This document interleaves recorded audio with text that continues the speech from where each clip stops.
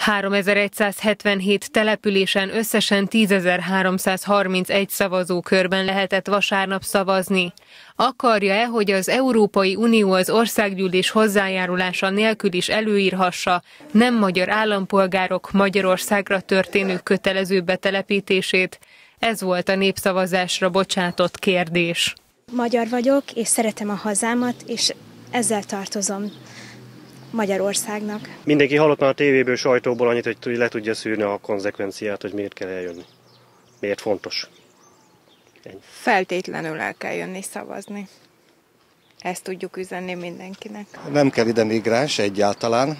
Kisvárdai szavazók ide, a Császi úti óvodába is érkeztek. Két szavazókör volt itt. A 11-es számúban szavazott a Nemzeti Fejlesztési Miniszter is. Sesták Miklós a reggeli órákban érkezett. Ebben a szavazókörben reggel 9 órára már közel 80-an voksoltak. Én azt gondolom, hogy demokráciában az embert megkérdezik, akkor igenis kötelesség, hogy eljön és szavazzon, és mint hogy olyan sokszor elmondtuk a kampányba, mi nem szeretnénk kockáztatni, és ezért jövünk és szavazunk nemmel.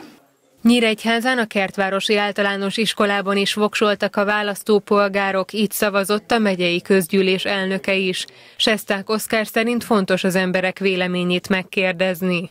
Biztos vagyok benne, hogy erősebb tárgyalási pozícióból küzdhet a kormány Brüsszelben, azok ellen a szándékok ellen, amelyek meg akarják változtatni az országunk jelenlegi képét szabolcs már Bereg megyében összesen 573 szavazókörben lehetett voksolni. A megyei jegyző elmondta, az adatok feldolgozása nagyon gyors volt a térségben. A népszavazás 19 órás zárása után nem sokkal 21 óra előtt már megvoltak a megyei eredmények. A megyei rangsorban szabolcs már Bereg megye a részvétel tekintetében a középmezőnyben található. Több mint 44 százalék volt a részvételi arány. Ez települési szinten tekintve igen széles tárházat mutat.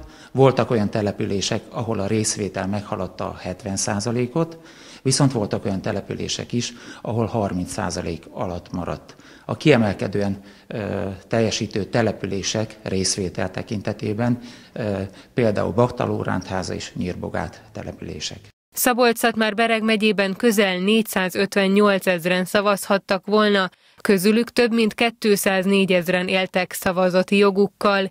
Itt is a szavazók közel 98,3%-a voksolt nemmel.